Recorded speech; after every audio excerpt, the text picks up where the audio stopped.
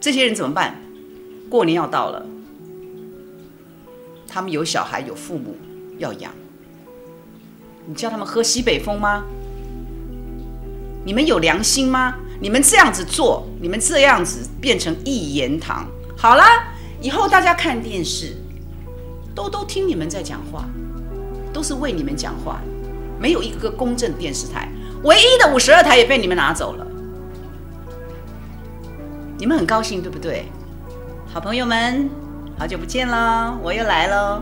就应该帮我们讲一下，就是面对这个中天即将要关台的事情啊。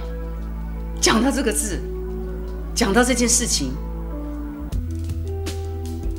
恶劣，有很多话镜头上不能讲，但是我可以告诉大家，各位好朋友，民进党当初当初是怎么样追求民主自由、言论自由的？你们这些高官们、蔡英文们、苏贞昌们，现在还多了个谢长廷们。你们这些高官们，你们当初在争取民主自由、言论自由的时候，你们那张嘴脸，你们自己还记得吗？你们现在拿到权力了，你们都忘记了。你们争取大位的时候，你们讲的天花乱坠。现在呢，权力到手啦，啊，都动算啦，嗯啊，伯利西贝安诺啊，你们是这样子欺骗人民的吗？你们把我们当白痴吗？我记得以前我还在当学生的时候，那时候懵懵懂懂的，对政治完全完全不懂。我现在还是不懂。我记得那个时候的民进党争取的就是自由，言论自由。后来慢慢的就变成要党政军退出媒体，退出校园，记不记得？又忘记了，对不对？你们根本没有良心，没有礼义廉耻。你们说过的话，换了一个座位，你们就换了一个脑袋，欺骗人民，作假，恶心。学姐会会觉得说 NCC 这样子的决议啊，感到遗憾之类的？我不要用遗憾来形容，NCC 根本是一个代打的棋子。NCC，你不要在那边自命清高。我们家电视跟我的朋友的电视都锁在五十二台，虽然我不一定看新闻，但是我就不会动到别台，因为我跳到别台我受不了，他们乱编、谩骂、编故事、假新闻，所以我对于这一次要关中天，因为你们这里面的利益太大了，五十二台全体上下的新闻工作的朋友们。主播们、幕后的工作者，我们给你们加油！民进党，你们恶劣的行径，历史会给你们记上一笔。你们有没有礼义廉耻？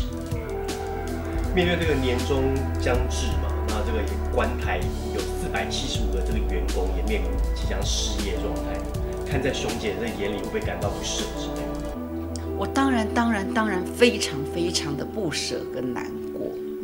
你想想看，这么多的员工，我跟他们都不认识，我都不认识。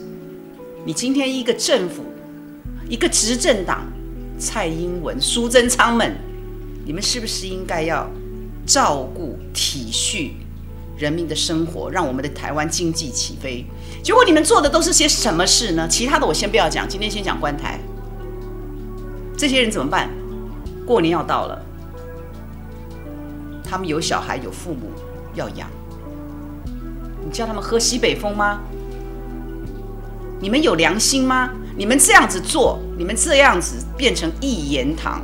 好了，以后大家看电视，都都听你们在讲话，都是为你们讲话，没有一个公正电视台，唯一的五十二台也被你们拿走了。你们很高兴对不对？但是人民很愤怒。可是你们不 care 人民想什么，因为你要我们把嘴巴拉链拉起来，然后大家都膜拜你。我告诉你，办不到。对于这些中天的工作人员呢，老天有眼在看，你们也要加油，不要放弃，好吗？我们大家人民都在支持你们，加油！那所以上个礼拜有这个支持中天的这个民众用比较不理性的这个方式，比较激烈的手段，要不要呼吁一下我们这个粉丝朋友们？讲到这个，在我的 YouTube 直播，我也开了直播了，一大早，因为我头一天晚上看到，头一天看到那个那个片段，我真的吓到，我真的吓到，我不敢相信我看到那个影片是真的。第一，他怎么有这么大的勇气？他心中的那个对民进党的那个恨，然后看到民进党对这么傲慢、这么无理、这么，我都不知道用什么形容词来形容你们了啦。可是这位先生，这位大哥，他有这么大的勇气。我看到那影片，他还写了一封信给右正，不，好像交给立刚。哦，他因为他发现右正为什么在频道里面不见了？也许他不会用 YouTube。他不知道右正已经有了那个 YouTube 的频道，所以这位大哥，你的勇气我们敬佩。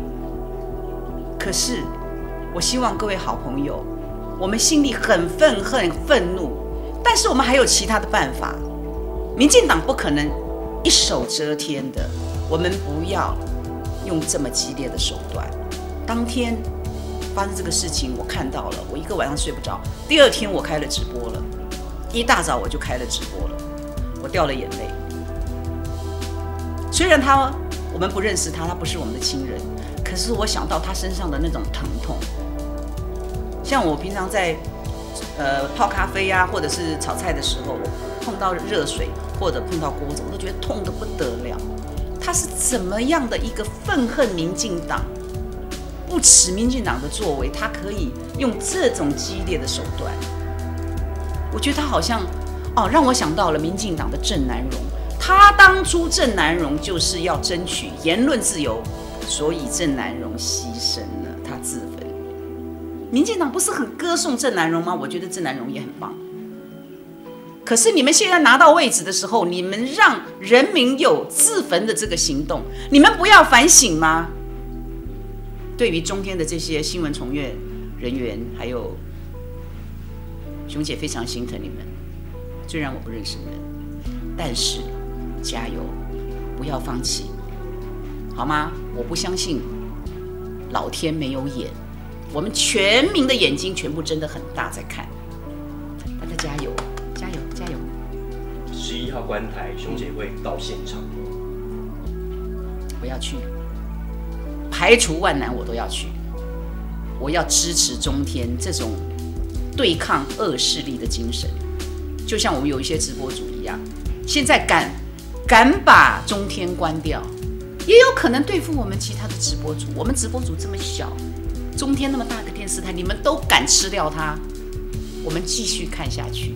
就像盛竹如大哥讲的，以后剧情怎么发展，让我们全民的眼睛睁大，继续看下去，加油！我是熊海玲，请订阅中实新闻网，并打开小铃铛，随时掌握即时新闻。谢谢。